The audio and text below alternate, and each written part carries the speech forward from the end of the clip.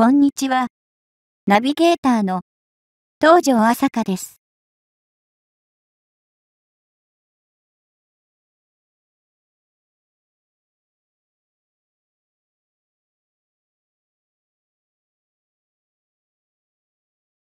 海上自衛隊や日本が誇る潜水艦技術今周辺国で日本海周辺での防衛行動を工作している。中国潜水艦も日本の潜水艦技術で発見されている。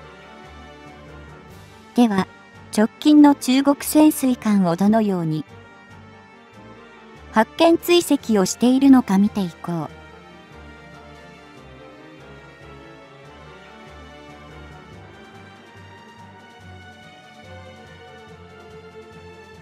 2020年6月18日から20日にかけて中国海軍の所属とみられる潜水艦が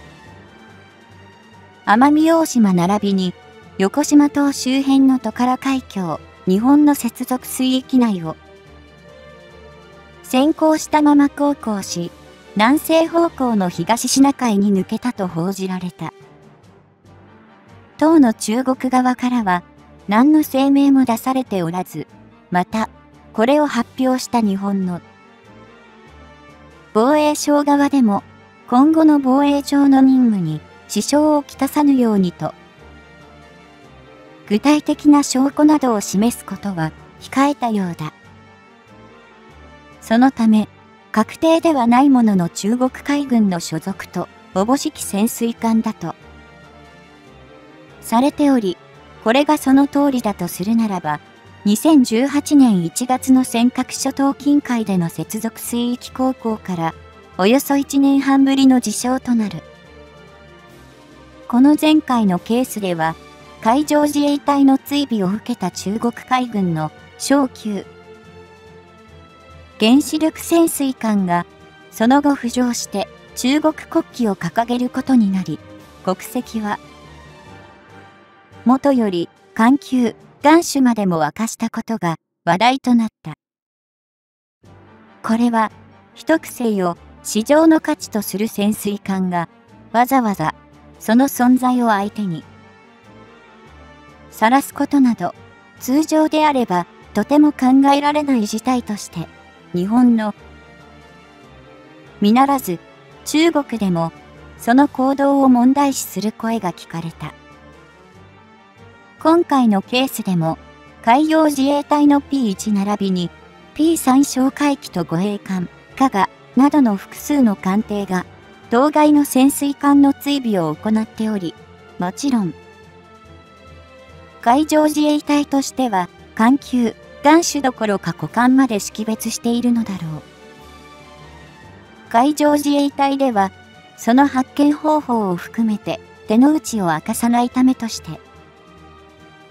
詳細な情報は一切公表していないが、海上自衛隊は敵潜水艦の発見に艦艇や追戦哨海機のソナーのみでなく、海底の固定型ものも保持しているようだ。こうしたソナー、つまり水中音を用いた補足手法に加えて、水中の電流を感知する方法や水中の温度変化を感知する方法など、複数の潜水艦探知手法を併用している可能性もあるだろう。水中の電流を感知するには、潜水艦が船体の腐食を防ぐために発している。防食用の電流、または漏電した電流、さらに航行中の潜水艦が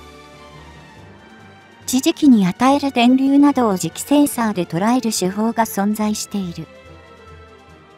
また、温度変化の感知方法は、潜水艦が先行航行する場合、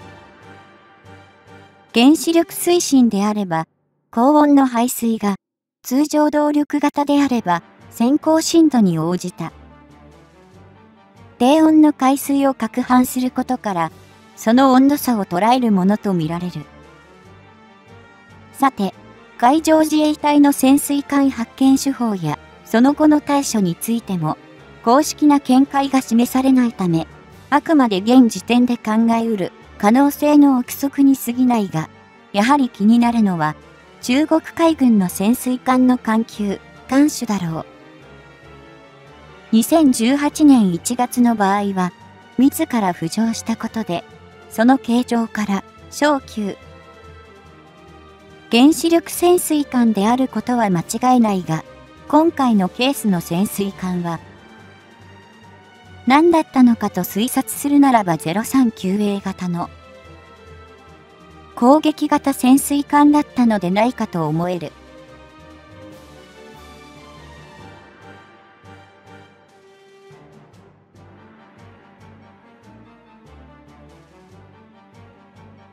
039A 型潜水艦は、NATO の別名では、元型とも呼ばれている艦艇で、基準排水量が2000トン、水中排水量が2400トン、全長72メートル。最大幅8.4メートルの比較的小型の通常動力型潜水艦だ。039A 型潜水艦は2006年から一番艦が収益を開始、これまでに全13隻が、建造され実戦配備され、さらに、あと7隻が計画中で中国海軍の通常動力型潜水艦としては、2020年現在でも最新の艦級、艦種に該当している。この 039A 型潜水艦の収益により、前級にあたる039型、総型潜水艦以前の、旧式な潜水艦は、自国沿岸部の海域を、主な行動範囲とし、039A 型潜水艦が、太平洋につながる概要を担当しているとみられる。このため、今回のケースで日本の接続水域内を先行したまま航行した。潜水艦とは、この 039A 型潜水艦であり、太平洋方面から東シナ海に抜けた。行動から察するに、中国への帰投を目指していたものと推測される。039A 型潜水艦は、海上自衛隊の総流型でも10番艦までが採用していた非待機依存型推進のスターリング機関とディーゼル機関の両方を搭載する潜水艦とめされおり、台への輸出も確認されている。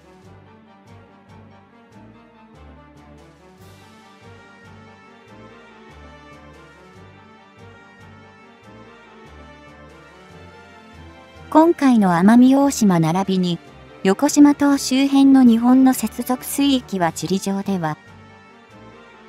トカラ海峡と呼ばれているが、これをめぐる中国と日本の両国の公式見解も、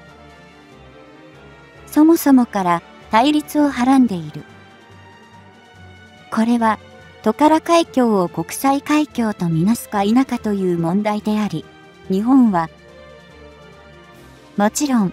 国際海峡ではないという立場に立脚しており、これを否とする中国とは180度異なるものだと言える。中国がトカラ海峡を国際海峡だと主張する理由は、そうであれば潜水艦が先行したまま通過することが可能であるためで、日本側はただ無害通行のみつまり潜水艦なら浮上して航行すべきとしている。今回の事象では、中国海軍所属とおぼしき潜水艦は丸2日間にわたり、約3ノット以下とみられる微弱な速度で先行航行を続けており、このことの正確さからも、極めて意図的に行動していたと考えられる。2016年1月のケースと異なるのは、最終的に浮上して国籍を。明かしたか否かの点だが、この時、自国内からも多くの批判の声が。挙げられたことで、今回はあくまで浮上しない姿勢を。貫いたのかもしれない。